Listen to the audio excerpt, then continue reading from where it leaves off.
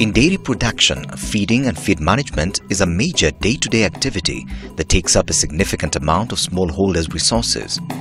In the same breath, feed constraints are among the key constraints that smallholder dairy farmers grapple with. High milk-producing cows must feed on the right type of feed in the right quantity and at the right time. However, high population pressures have increased the competition for grains as food or livestock feed major shortages occur during the dry season and quality feed concentrates demand a price many cannot afford. Napier grass, which is used in Kenya as a primary feed for dairy farming, requires significant allocations of land. Increased use and production of sweet potato may provide a partial solution. Sweet potato vines offer more protein and dry matter per unit area and require less land than any other commonly used livestock feeds. For example, Kenyan researchers have found that 4 kilos of vines could replace 1 kilo of dairy concentrate. By putting sweet potato on their family's tables and now even in their animals' troughs, African farmers are able to have more climate smart and affordable options for keeping everyone healthy and well fed. Good livestock feeding demands more than determining what feeds are available. It also requires understanding all the types of feed resources that are available.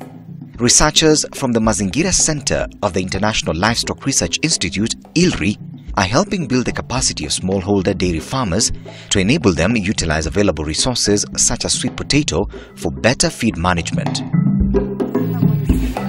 Sweet potato vines and roots are prone to spoilage due to its high water content However, there are special methods for creating sweet potato vine silage that allow for the preservation of the vines and roots within a silo.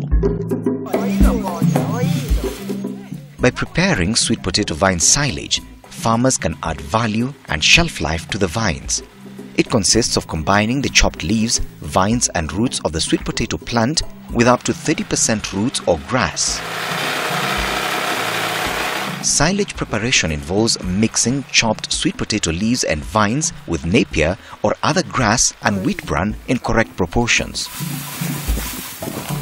This makes a highly nutritious home-cooked meal that can be substituted for commercial dairy milk products. A ferment starter, such as molasses, is added to aid the process of fermentation and increase the nutrient content of the meal. The fermentation process takes 30 days. Once prepared, the silage can last up to 400 days. Processed sweet potato residues offer an inexpensive and nutritious alternative feed ration for livestock that may increase economic returns. The roots are a good source of energy and the vines a source of protein. The key to preserving sweet potato silage is ensuring that it is not exposed to air and that all excess water is drained out. To accomplish this, farmers need to construct a special type of plastic tube silo using generally available material. One of these silos should hold about 350 to 500 kilograms chopped, well-compacted silage. Well-prepared sweet potato silage is bright or light yellow-green in color has a strong smell similar to that of fermented milk and a firm texture. Poor quality silage tends to smell similar to rancid butter or ammonia. Sweet potato tube silage should be stored under shade, for example in a store. Rodents like rats that could tear the tube need to be controlled.